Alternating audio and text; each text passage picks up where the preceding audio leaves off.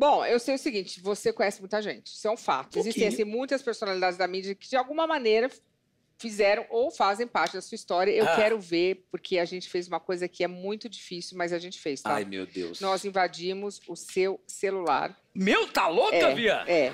Mas se não trai mesmo, tá, tá tudo certo. Então eu vou pegar, Ah. vou colocar o celular aqui, ó. Pelo amor de Deus, E Jesus. se alguém ligar, Ah. você vai estar na caruda, vai ter que atender ou não. Porque aí se você não tá- Vamos lá? Ai, meu Deus do céu. Eu imagino quando Jesus voltar aqui e começar a mostrar a mensagem do celular da gente. Que, coloca que aí, coloca acontecer? aí. Coloca aí. Atende ou bloqueia?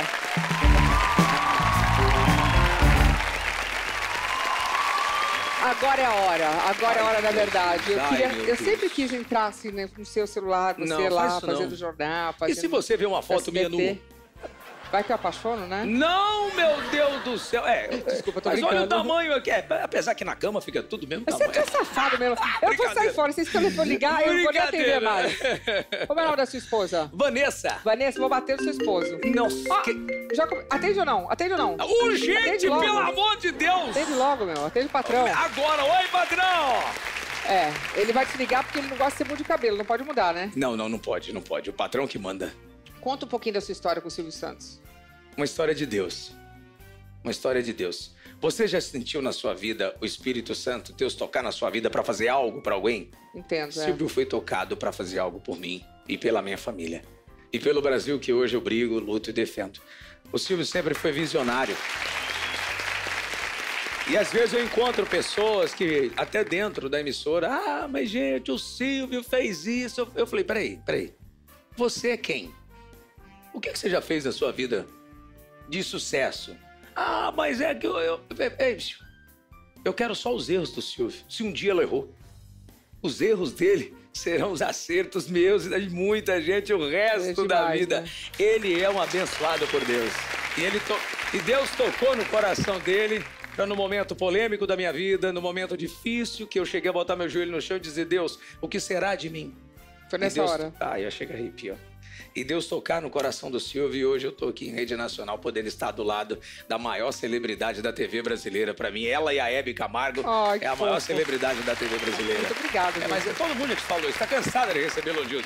Mas é, pra mim, eu assistia muito a Hebe e acompanho sempre você, porque você é sincera. Quando tem que falar, fala na lata. Tem que falar mesmo, né? Prego batido e ponta virada. Esse- Eu sou assim também, tem que Então falar, né? Agora me conta, como foi esse seu primeiro encontro? Que quando você encontrou com ele, sentiu que ia rolar o trabalho, o seu sonho estava sendo realizado? Como é que foi isso? É aquela coisa do, do encontro colegial. Não tem quando você conhece aquele. Ih, meu Deus, será que a pessoa vai falar comigo? Aquele frio na barriga. Eu tava na- no, no café, no corredor, ali, você conhece muito bem, ali no corredor. Conheço. E aí eu tava colocando uma moedinha na máquina, assim, ó. De, juro por. Assim, ó. Assim, ó. Aí de repente escutei uma voz.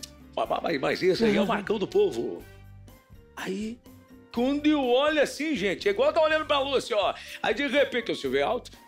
Ele é grande. Aí ele, ele tava assim, mas seja bem-vindo ao... Gente, esse aqui é o Marcão do Povo, ó. Seja bem-vindo ao SBT. Eu falei, seu Silvio, eu tô tremendo aqui, mas obrigado, eu tô muito feliz pela confiança, mas você não tem que agradecer, não. Você é muito bom. Virou as costas, deixou malando e foi embora gravar. Esse foi o momento que marcou minha vida e vai estar sempre no meu coração, na minha família. Ninguém vai substituir isso. Ninguém te liga mais, não, é? O telefone tá parado. É. Ah, Quem que é? Albate! Luiz Bate! Atende que ou o não? povo fala que eu, que eu pareço com o Bate? Vamos atender ele ou não? Ah, não, e- e- ele é muito feio. Vou atender, não. Ah, Não, se ligou na atender, cara dele, coitado. Ele é muito feio, muito Mas feio. ele parece com você.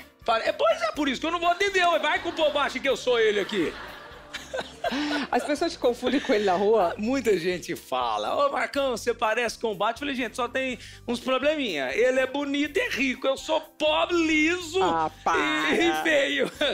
Mas ele parece um pouquinho. Ah, você vai com sucesso lá. Não, ele tá bem. Ele, ele é um grande comunicador. Ele é fofo. Ele nasceu pra fazer o que ele faz televisão. E eu acho que ele tem um sonho de fazer um programa de auditório. Eu acho que é questão de tempo. E às vezes a pessoa quer apressar os projetos de Deus e acaba fazendo coisa errada. Mas eu acho que isso vai indo super acontecer. bem, com vai, não, tá muito bem. Qualquer lugar que você pôs menino, vai bem. Tá blo- tá Ah, pera, esse é uma figura. Ah, rapaz. Esse, esse menino eu achei que era um robô. Ele é tão, ele é tão focado, ele é tão perfeitinho, né? É, é, não, ele é dedicado. Atende ou não? Não, eu vou atender. Ele é companheiro. Eu vou atender.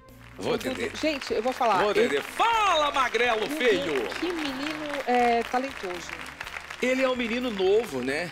É, é assim, que precisa é, aprender muita coisa em vários sentidos, mas todos nós passamos por essa idade. Então, quem nunca errou, que atire a primeira pedra. Não, Eu é acho que ele ainda tem muita lenha para queimar. E tem tempo pra isso. E ele é talento. Se falar que ele não é talento, quem é fala isso está mentindo.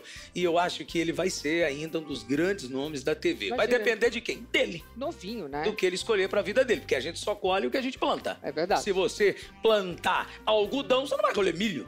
Verdade. Então eu acho que se ele continuar seguindo de maneira séria, de maneira é, ordenada, pensando antes de agir. Focado, né? Focar, mas focar, assim, é, de uma maneira pessoal, profissional e familiar.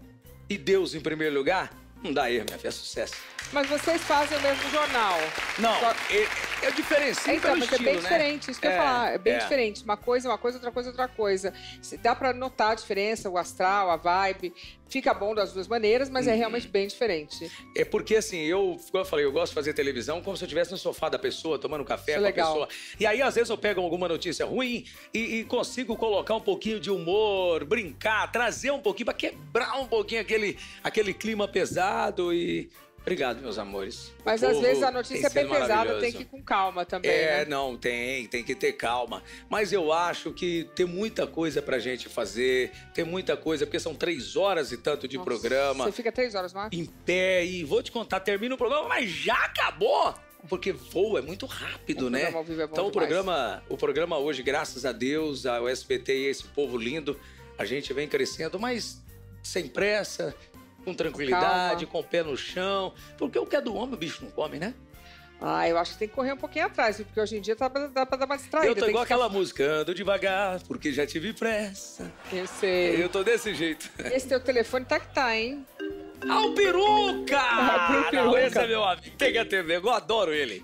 Esse é maravilhoso. Ele é gente boa também? Putz, ele imita o, o aquele dos trapalhões. Você viu que só tem macho. Só homem te ligando, né? É, só cueca. Carcinha, ninguém me ligou. Pelo amor de Deus, alguém bota aqui alguma mulher bonita pra me ligar. Não, Vanessa, é só pra ligar. Uma coisa é legal, uma coisa é estar tá junto, é. né?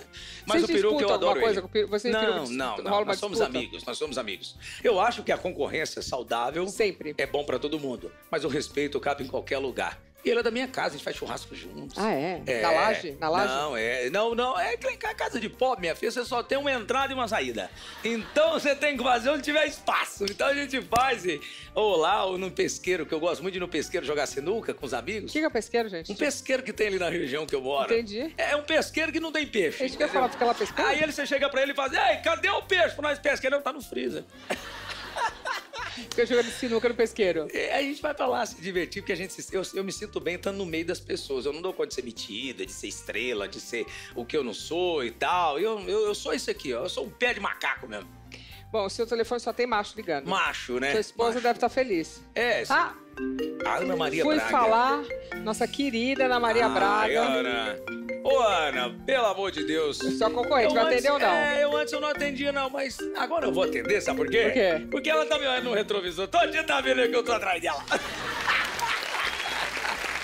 Quem tá ganhando? Ah, é uma briga boa, sabe? Um eu... dia ela, um dia você, é, como é que é? É uma briga boa, mas assim ela merece o respeito do Brasil, tá né? Claro. Às vezes, como todos nós, às vezes excedemos em algumas palavras, Não, como somos seres humanos. E de onde ela veio, onde ela está, o que ela passou, ela não tem que ganhar outra coisa no seu reconhecimento do Brasil verdade, e do verdade, povo, né? Verdade. Então eu atenderia ela, principalmente se ela me chamar pra comer em casa. Mas como Aí é que é o negócio? Uma hora, uma hora um ganha, outra... como é que fica ali a disputa? É, porque quando determinado período ali, que vai mudando a programação, aí o povo vai mudando às vezes de canal, porque tem muita gente que é muito assim, ah, dorme com um canal, aí acorda tá naquele canal, então é muito relativo essas coisas.